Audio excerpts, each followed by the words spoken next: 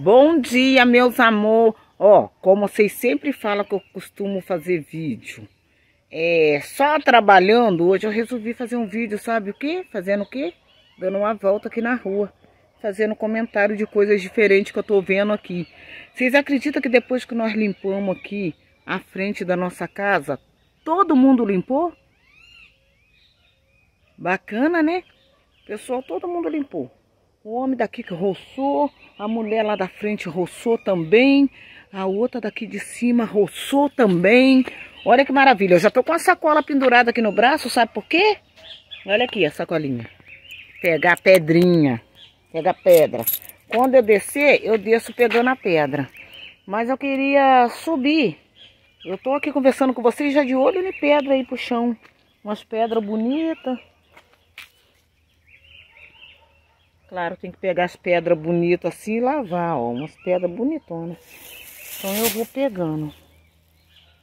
Eu quero pegar umas pedras que depois, na hora que eu descer, eu desço dando mais atenção assim nas pedrinhas. Para pegar... Agora eu quero dar atenção para vocês. E falar para vocês como é bom a gente limpar. A gente limpou ali, deu exemplo num monte de gente da rua. Todo mundo limpou.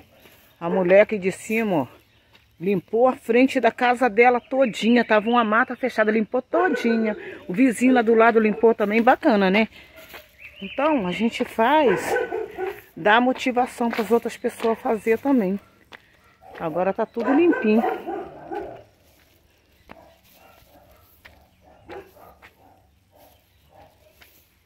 Ah, eu quero... Eu não vou ficar gravando para vocês verem, não. Vou ficar gravando para vocês olhar também, tá?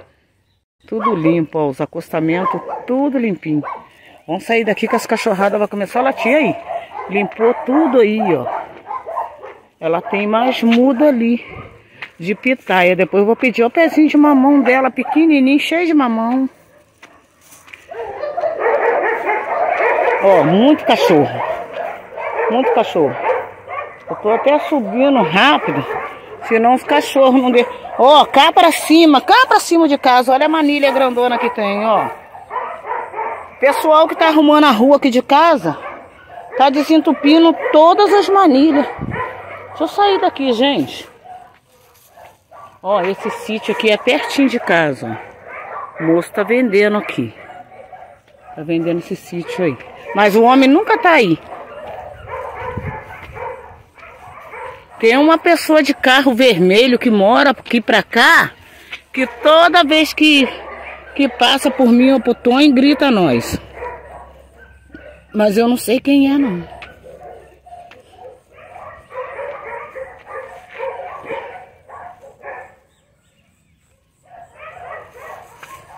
A gente tá andando praticamente na minha rua mesmo, saí do portão agora. Não vou longe não, tá? Porque eu acabei de almoçar. É até bom depois que você almoça fazer uma caminhadinha devagarinho. Nada assim, nada exagerado. As pedrinhas mais redondas eu tô percebendo é lá na frente do portão da gente mesmo. Aqui em cima tem tanta casa, nunca vi. Casa de chácara, mas muita casa. Muita casa mesmo. Ah, eu ia perguntar um negócio. A moça não tá aqui dessa casa. Não sei se vocês vendem calha. Não vende não, aquilo é calha velha. Eu pensei que eles vendiam calha. As coisas aqui em São Paulo é tão mais em conta. E às vezes a gente precisa de calha. Que isso? Tem uma cachorrada ali pra cima também. Muito mesmo. Ó, eu vou ser sincera pra vocês. Eu nunca vi cachorro bravo solto aqui pela rua, não. Mas eu tenho medo. Eu tenho medo de sair um pitbull, um cachorro grande de alguma casa. Esses lugar de sítio assim, é mestre pra ter esse negócio de pitbull. Eu, hein? Pra correr atrás da gente. Então eu vou andar um pouquinho, mas não vou muito longe não. Foi num pé aqui pra cima que o Tonho pegou manga.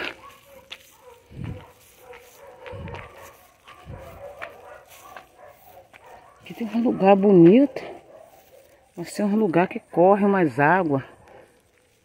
Aqui, gente, esse lugar aqui é tudo sítio, é tudo chácara. Tudo pra cá. Mas eu vou até lá em cima. Muito lá em cima não.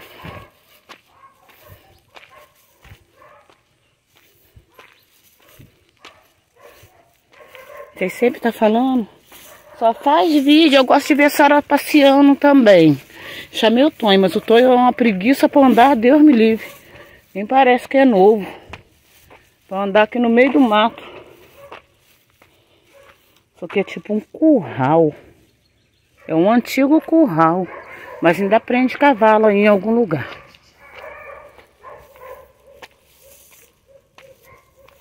Pouco tempo, o muro de uma casa aí caiu tudo. Aí eles construíram de novo. Olha que cavalo bonito, meus amores. Olha que bonito. Olha. Lindo, né?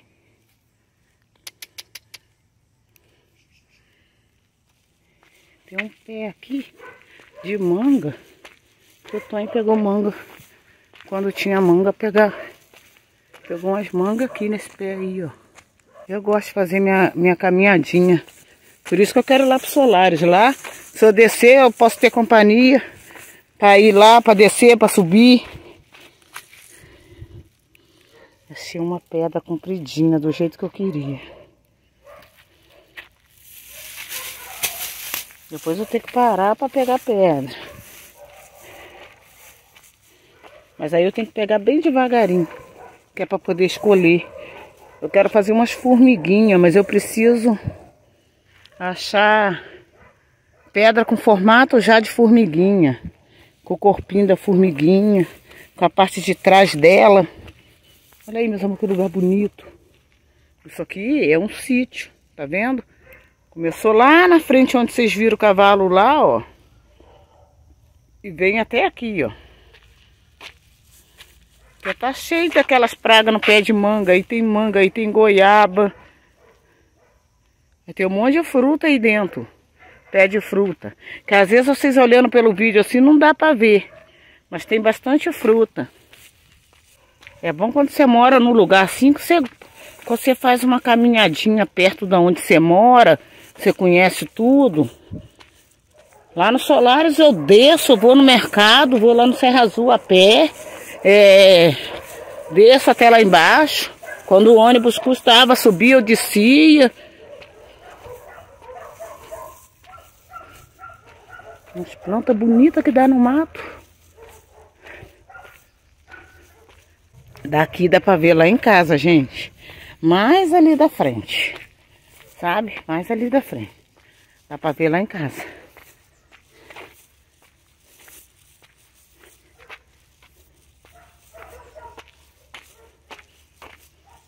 Vou mostrar vocês daqui.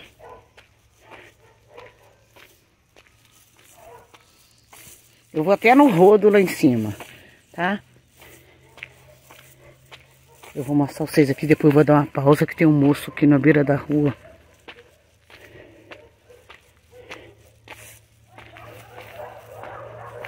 Ó, daqui, vou chegar nesse acostamento aqui, ó. Ó, daqui dá pra ver lá. Vocês não vão conseguir. Tá vendo um eucalipto grandão? Ó, esse eucalipto... Pera aí. Cadê? Deixa eu marcar bem direitinho. Esse eucalipto aqui, ó. Esse aqui, ó. Cadê? Cadê? Olha lá, esse aqui. Esse aqui, ó. Aí, esse aí. É lá.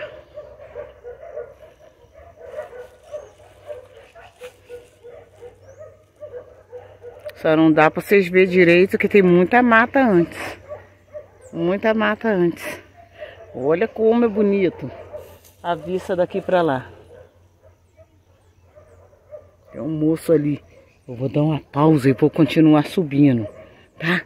Vou dar uma pausa e vou continuar subindo. Vamos subir daqui pra lá. Tem gente na rua. Pera aí. Ó, tô continuando subindo. Já dei boa tarde no moço ali e continuo subindo. Nós vamos até lá em cima. Delícia andar um pouco. Ah, eu gosto. Hum, hum, ficar lá Hoje eu decidi dar uma volta aqui com vocês na rua. A hora que eu cheguei bem perto da moça ali, eu dei uma pausa, tá, meus amor? Pra não ficar gravando a pessoa. Se a pessoa não gosta, né?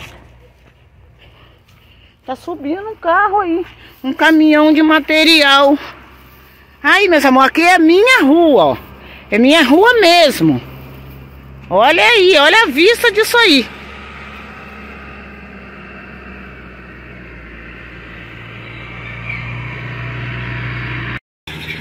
Tá vendo esse pedaço aí? Eu vou abrir a câmera. É o fundo do sítio.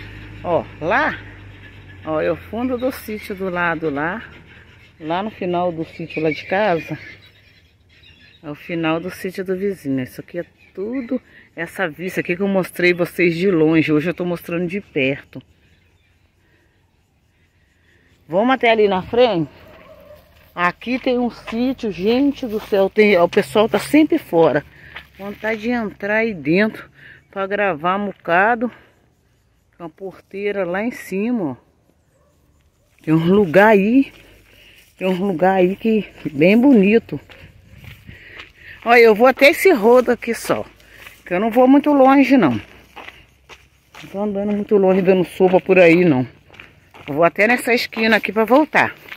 Aqui tem a casa do moço aqui que ele mesmo construiu. Ele adora morar aí. Isso aqui, se eu não me engano, é pé de abacaxi, né? Pé de abacaxi grande. Gente, eu ando assim, mas vou aconselhar vocês. Faz igual eu. Eu ando, miro, miro gente bem de longe de mim. Se tiver uns dois metros, já, já fico alerta.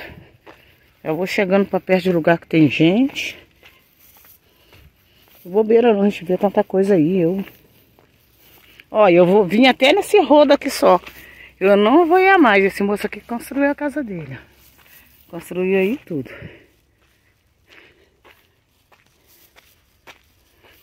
Ele mesmo construiu a casa dele.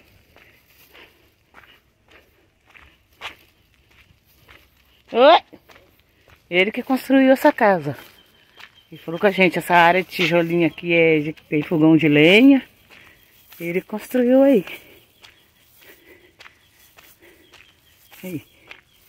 Ele mesmo. Pronto, gente, eu vim até esse rodo aqui, ó.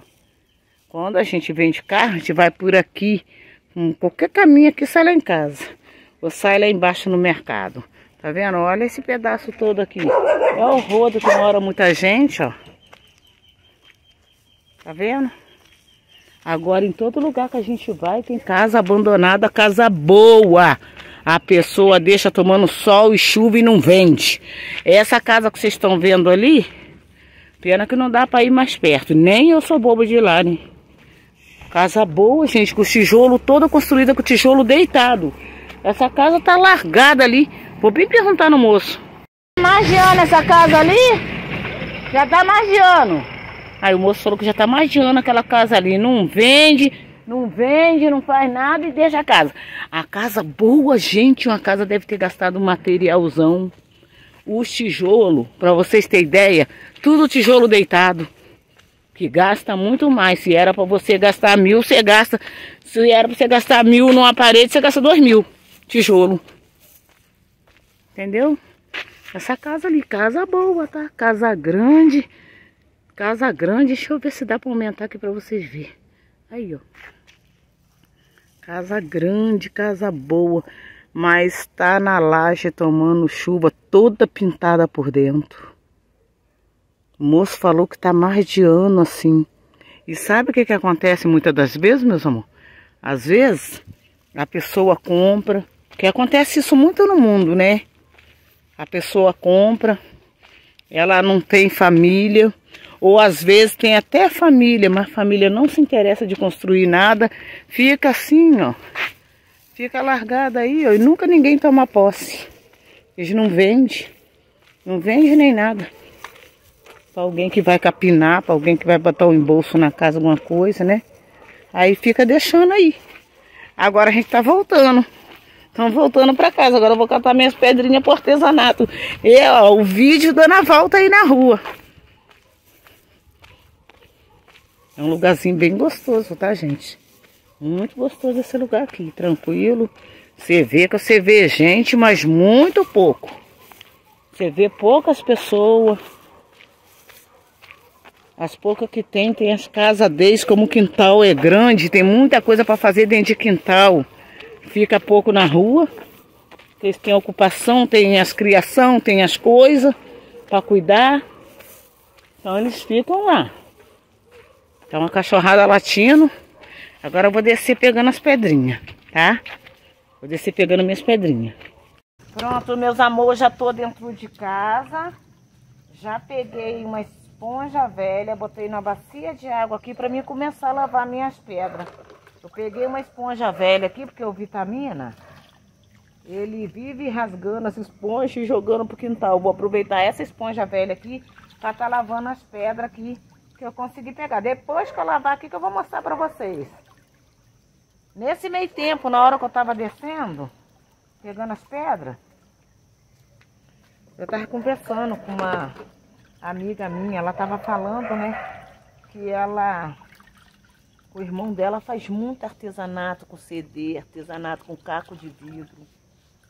Eu tava falando com ela que o artesanato é o artesanato é muito bom para distrair a mente da pessoa para relaxar a mente, para né, descontrair.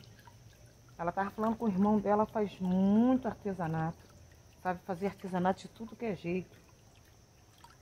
E eu falei com ela, eu já gosto de artesanato demais e não tem, não tem aquele jeito não, mas das pedras da Joaninha o pessoal adorou.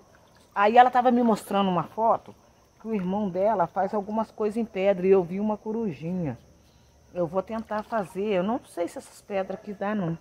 Eu não peguei nenhuma pedra do modelinho que o irmão dela mostrou que ele fez a corujinha. Mas vamos ver, eu vou tentar ver se eu faço. Quero fazer um sapinho também.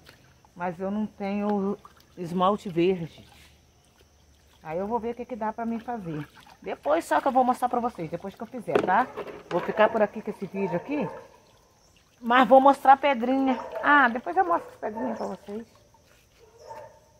Depois eu mostro, depois que já tiver pintada tá? O vídeo já ficou bem longo, nós passeamos aí. Vocês gostaram do passeio? Então, passeamos bastante. As pedrinhas tudo que é jeito. Eu vou mostrar uma só. Ó, pedra bem diferente, ó. Ó, ó. Aqui. Tá vendo? As pedrinhas que é mais escurinha. E outras pedrinhas que é mais clara. Eu lavo tudo. Tem pedra de tudo que é jeito. Ela, o, o irmão dela fez uma corujinha e fez uma carinha. Falei, essa carinha servia para ser sapo. Eu quero fazer bichinho. Só que para mim fazer as formigas eu vou ter que arrumar pedra adequada. Eu tenho que ver mais desenho para mim, para me dar ideia de qual formato da pedra que eu tenho que pegar para fazer formiga. Eu queria pegar já as pedras com o formato da formiga. Só para acrescentar algumas coisinhas, pronto, já sai a formiga. Vou lá então, meus amor. Beijo para vocês, até o próximo vídeo. Espero que vocês tenham gostado desse passeio que a gente fez na rua aqui. Descontraímos um bocadinho. Vocês falam que às vezes só faz vídeo trabalhando e hoje nós passeamos um pouco, tá bom? Beijo para vocês, meus amor.